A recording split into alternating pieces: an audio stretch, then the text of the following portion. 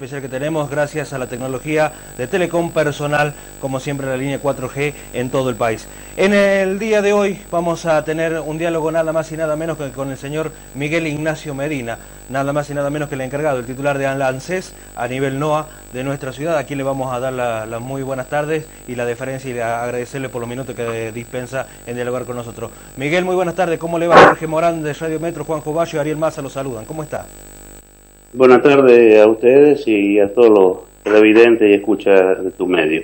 Eh, una cosita te quería aclarar, una cosita te quería aclarar, yo soy eh, gerente de UDAI La Rioja, no, no gerente general, ¿eh? Bien, bien. Eh, entonces, el gerente general de UDAI de La Rioja. Miguel, hablábamos con usted porque hay, hay muchas situaciones, hay muchas, eh, digamos, en este momento consultas que se están realizando, sobre todo por, em, eh, por empezar con el tema de los pensionados, esta nueva eh, disposición que ha tomado desde ANSES Nación en el hecho de volver a hacer un estilo de reempadronamiento con respecto a esta situación y que han llegado a un acuerdo, por decirlo así, con la gente del Ministerio de Salud, tanto de la Nación como de cada una de las provincias, para que sean ellos mismos quienes estén realizando esto le consulto sobre, eh, hace poco dialogábamos con eh, uno de los médicos que está acá en, nuestra ciudad y que está realizando eh, este tema de, las nuevas reorganizaciones, cargar los formularios en, la parte virtual que le ha propuesto el Estado, el gobierno. ¿Cuántos más o menos pensionados en la provincia tendrán que hacer este trámite y se lo va haciendo gradualmente? Porque hay muchos que reclaman que hasta el momento no le ha llegado ninguna notificación desde el ANSES. Eh, mira, la verdad es que eh, se trata de las pensiones no contributivas em, que dependen eh, actualmente de la Agencia Nacional de Discapacidad. Em, lo que está haciéndose es no un reempadronamiento, sino una captura de datos para contratar que si realmente el beneficio ha sido otorgado con el cumplimiento de los requisitos necesarios o no uno de los requisitos necesarios e indispensables es el tema del estado de salud del titular. Y es por eso que se está enviando, de acuerdo al eh, análisis que se realiza a través del sistema, si este, están eh, teniendo este, estos requisitos cumplimentados. Eh, en el mes pasado se giraron cerca de 400 cartas documentos eh, desde el ANDIS a los titulares de, los, mm, de estas pensiones no contributivas, en las cuales eh, lo intimaban a realizar este mm, certificado médico digital que eh, en un convenio con los distintos ministerios y centralías de salud de las provincias se realizaron para que ellos sean los encargados de emitirlo. no es para todos, es, para los que están seleccionados y los cuales generan algún tipo de duda en el análisis que se hace en el sistema. En el caso particular eh, de Chepes, este, llama la atención, eh, habida cuenta de que del muestreo que se hizo de los 400 en la provincia, eh, son cerca de 65 en el departamento eh, eh, Rosario de Peñalosa.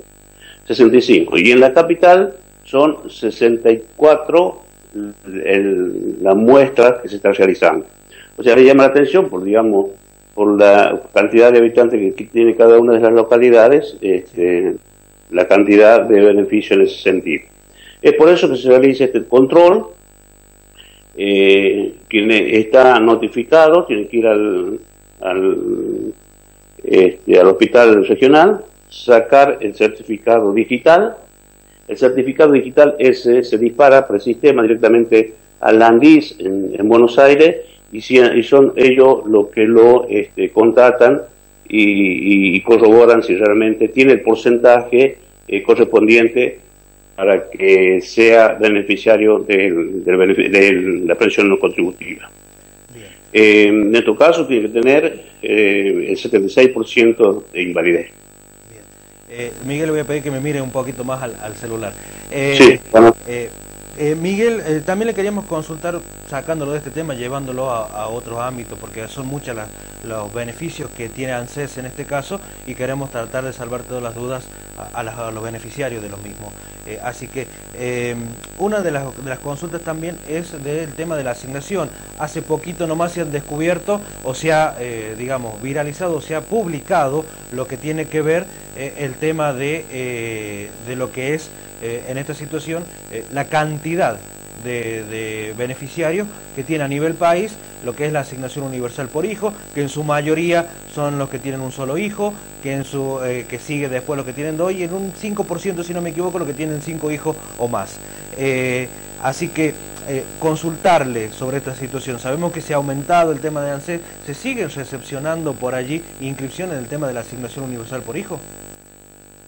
En la asignación universal por hijo, la metodología es directamente cuando el padre o la madre lo registran eh, la partida de nacimiento del hijo y si ninguno de los dos progenitores tiene ningún tipo de ingreso, eh, eh, inmediatamente el sistema dispara el pago a uno de ellos, ¿no? o sea que no, no es una inscripción así precisa, lo que sí lo que sí se requiere es que anualmente se este, cumplimente con el formulario o con la libreta, en el caso de los que lo tengan, para corroborar que durante ese año ha cursado, si es mayor de tres años, ha cursado este, la escolaridad y ha cumplimentado con todo el sistema de salud eh, exigido. Eh, con estos dos requisitos, eh, con la presentación de esta libreta del formulario, se le abona la retención del 20% que se le realiza en cada uno de los meses que se le va pagando. Eh, Miguel, con respecto a esta situación, eh, sabemos que muchos están sacando préstamos y ha habido una situación que por allí que aquellos que cobran la asignación universal por hijo en el correo tienen que viajar hasta la capital para hacer ese trámite. Hay algunos que ya lo han hecho al trámite a través del modo virtual, pero que tienen que terminan directamente, tienen que viajar a la capital para poder recibir ese, ese préstamo, a pesar que ya se lo viene descontando. Eh, claro, porque el sistema de crédito ANSES eh, se lo hace a través del banco. Y el banco requiere que cada uno de los beneficiarios tenga su caja de ahorro o su CBU para que ahí sea depositado el préstamo muchos muchos beneficios, como no únicamente los salarios universales, los SWAP o las pensiones no contributivas se cobran a través del correo. Se cobran a través del correo en las localidades donde no hay entidad bancaria o sucursales de los bancos. Pero sí el préstamo requiere tener una entidad bancaria con número de cuenta y número de o número de CBU. Tengamos en cuenta que es un crédito que tiene la, moda, la misma modalidad bancaria. En este caso, el convenio de ANSE lo tiene hecho con el Banco Nación. Bien, acá en Chepe ha sucedido que muchos están cobrando por el correo, a pesar que hay un Banco Nación acá en nuestra ciudad, por allí se le difiere. ¿Pueden hacer el cambio, digamos, acá en el lugar de acá de Chepes? ¿El cambio de lugar de pago? El cambio de boca de pago, sí, es, es algo simple, no es un trámite engorroso, y se hace el cambio de pago y que impacta a los 60 días. Bien. Eh, haciendo eso tienen, pueden hacer el trámite acá nomás, digamos, y conseguir eh, que le, den la plata del préstamo que ya han sacado y que muchos de ellos inclusive ya lo están pagando y ya le están descontando la cuota. Sí, sí, seguramente, ese es uno de los requisitos, o sea, que se haga, o sea, que el cobro a través de una entidad bancaria para que el descuento se lo haga también a través del banco. Eh, ¿Cómo se están preparando, Miguel? Porque el monotributo social ha pasado a depender ahora del ANSE, ya no depende más de la FIP pasa a depender de, del ANSES, va a haber una situación de eso, cómo tiene que hacer aquel monotributista eh, social que tenga que rendir cuenta, que tenga que hacer esas situaciones. ¿Sigue haciendo el mismo mecanismo o ha cambiado eso, tiene que ir al ANSES?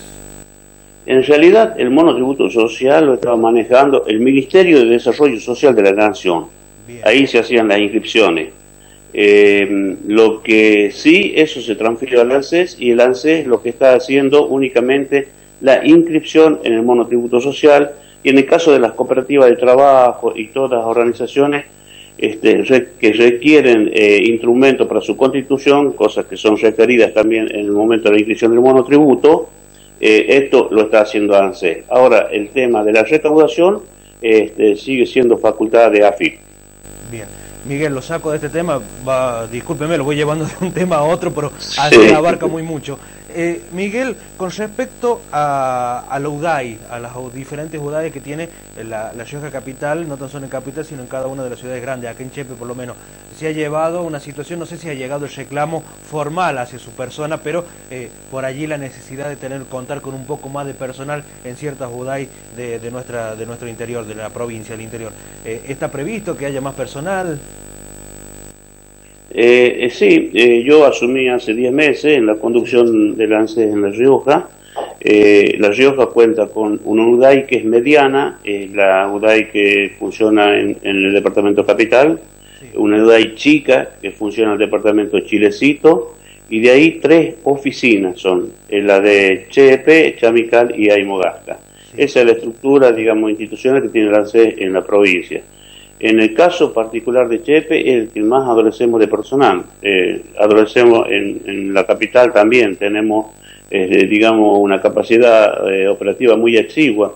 Es, es, por eso que muchas veces estamos este, sobrepasados con respecto al otorgamiento de turno. Pero precisamente, desde que mi inicio ha sido uno de los reclamos, no, no únicamente el tema de, personal para Chepe, porque como mínimo una oficina tiene que funcionar con tres, este, con tres personal. Y en, en, Chepe tenemos únicamente dos, y bueno, y con, la condición, con las ocasiones naturales de enfermedad, ausencia, este, hasta hubo casos que tuvimos que enviar este, gente de La Rioja para que no quede este, acceso para esa oficina. Eh, eh, sí, es, un grave problema, una gran falencia que tenemos desde ANSES, eh, se hicieron todos los reclamos, no únicamente el tema personal, sino también el tema de edilicio, porque no es funcional, eh, digamos, la oficina que tenemos actualmente en, en Chepe. Se están haciendo diligencias para, para realizar y conseguir un alquiler y que sea funcional y que, por supuesto, para que la gente pueda eh, asistir y sea atendida como corresponde. ¿Ya no va a estar más en la municipalidad entonces? La idea es esa, de alquilar un local que tenga independencia del municipio y que tenga, digamos, las comodidades, porque no tiene, en el municipio no tenemos las comunidades correspondientes para la atención de un UDAI con, con tres personas, como, como, corresponde que tenga el departamento. Bien. Eh, vamos al ámbito jubilatorio ámbito por allí sí. medio candente, eh, dadas las situaciones que por allí se están viviendo. Eh, digo, eh, acá en la provincia. Comencemos un poquito con el tema de la reparación histórica. ¿Cómo fue en la provincia? Sabemos que muchos jubilados se han acogido a esta nueva ley que ha implementado el actual gobierno y que hay muchos tantos que no por ahí no ha tenido el impacto que el gobierno nacional necesitaba. ¿Cómo se está trabajando en eso? ¿Todavía se están aceptando personas que quieran, eh, jubilados, en este caso, que quieran eh, pasarse a la reparación histórica? ¿Tienen que ir a un abogado? Porque muchas veces acá los abuelitos inclusive han contratado a un abogado o un gestor para que les realice estos trámites, Miguel. Sí, bueno, con el tema de reparación histórica yo creo que se ha eh, subsanado este, y se ha puesto en valor el el reclamo de casi la mayoría de los jubilados, que eh, ha sido una catarata de juicio que recibió el ANSES, sí. y todo originado, digamos, de, eh, como la, la, jurisprudencia que generó el caso Badaro. O sí. sea, la actualización, la actualización de la ABER, caso Merkel. El, el, eh, de, la, la actualización de su haber, ya que en, en varias oportunidades el gobierno nacional eh, entre el año 2006 y 2010 hizo aumento de monto fijo, el cual perjudicó notablemente a los que tenían un mayor sueldo del, de, de, del mínimo que pagaba el ANSE. Entonces, esa actualización la que generó los juicios y bueno, eso, este, digamos, este gobierno cubantino creo que eh, hizo la reparación histórica, actualizó los haberes lo que sí eh, hay algunos casos que quedaron pendientes con respecto al tema del retroactivo ofrecido y prometido en su momento cuando se firmó el acuerdo. Eh, todavía queda vigente. Y de ahí en otra etapa, el otro 50 en 2 de 25. Eh, claro, el monto total de, el mon de lo, del retroactivo ofrecido. En el caso de, de, los que no se han adherido y todavía está la oferta, eh, yo creo que el vencimiento es en mes de octubre de este año pero eh, casi la mayoría de todos los que está, se hizo el ofrecimiento este, lo han aceptado y bueno, eh, en la actualidad lo están cobrando. Miguel, seguimos en el ámbito jubilatorio. le tengo que preguntar, la nueva ley mora, la nueva moratoria jubilatoria que implementó la provincia de La Rioja a través de una disposición que hizo el gobernador Sergio Casas, eh, ¿cómo, ¿cómo impacta en ANSES esta situación? ¿Cuál es lo real y cuál es lo que no? Porque se prometía inclusive que en la jubilación esa que hicieran aquellas personas que estaban en edad y en condiciones para jubilarse, eh, tenían que presentar todo hasta el 4 de, abril pasado. Eh, ¿Qué hay de cierto de esto? ¿Qué tiene de cierto ANSES en esta situación, Miguel, si nos puede explicar?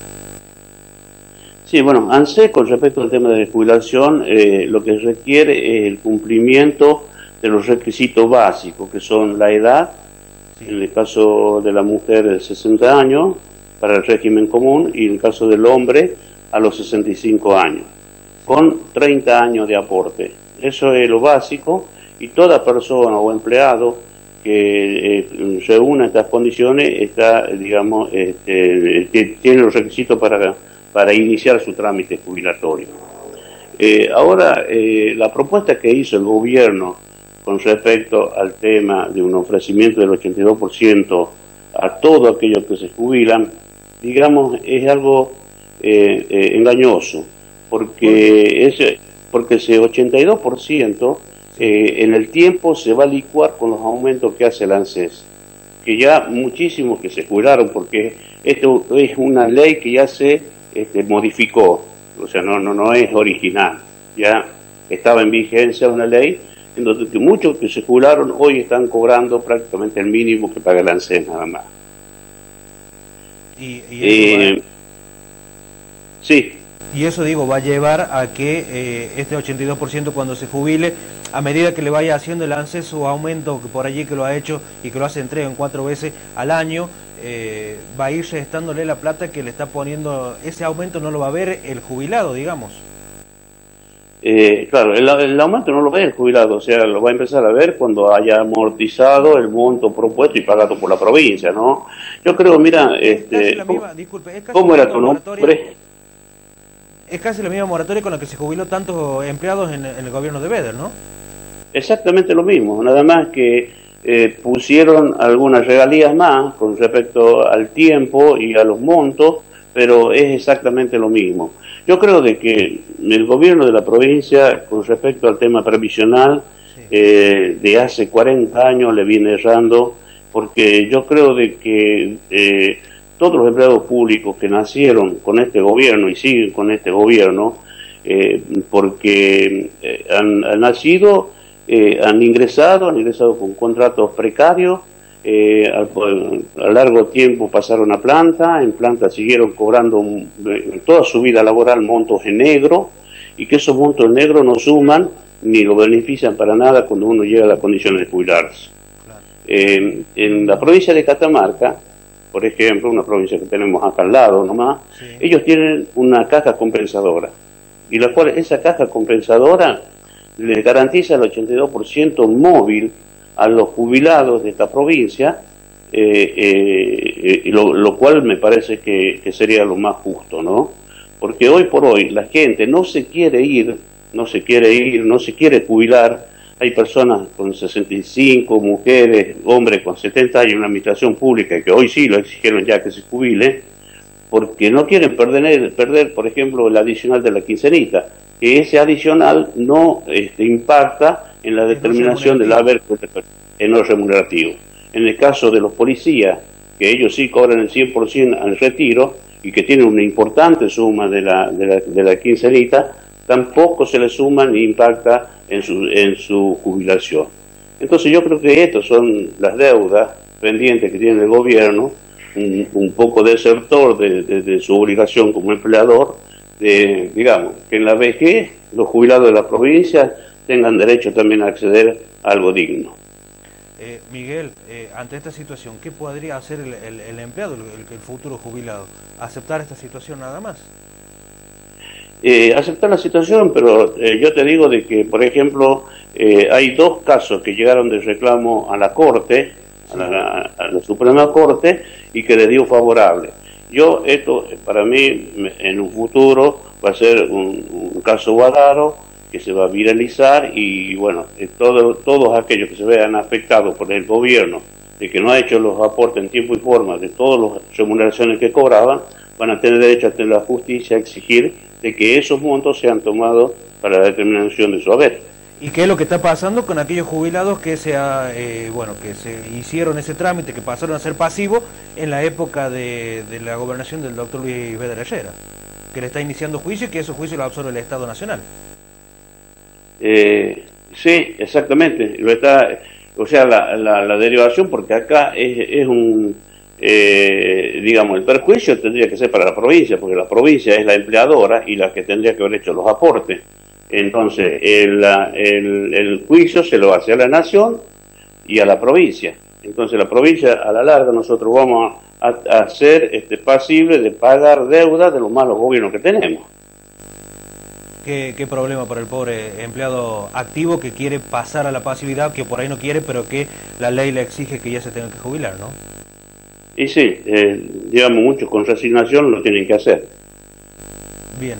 Miguel, ha sido muy amable, muchísimas gracias por haberse prestado al diálogo, a esta nota en video. Le agradecemos de la gente de Radio Metro, de Juan José Baggio, de la señora Enrique en mi nombre personal de Jorge Morán, agradecerle los minutos que a disposición de dialogar con nosotros. Sabemos que ha estado trabajando hasta hace minutitos nomás también ahí en el y ha deferido unos minutos como para dialogar con nosotros. Le agradecemos que tenga una excelente jornada. No, la verdad que le agradecido soy yo y bueno, pido las disculpas porque soy un poco ñófito en el tema del manejo de esta tecnología y bueno, si algo salió mal, no pido la disculpa. ¿eh? No, ya lo vamos a ir acostumbrando, no va a ser la última nota, Miguel, ya le aviso. Bueno, te agradezco. ¿eh? Un abrazo grande, Miguel, hasta luego.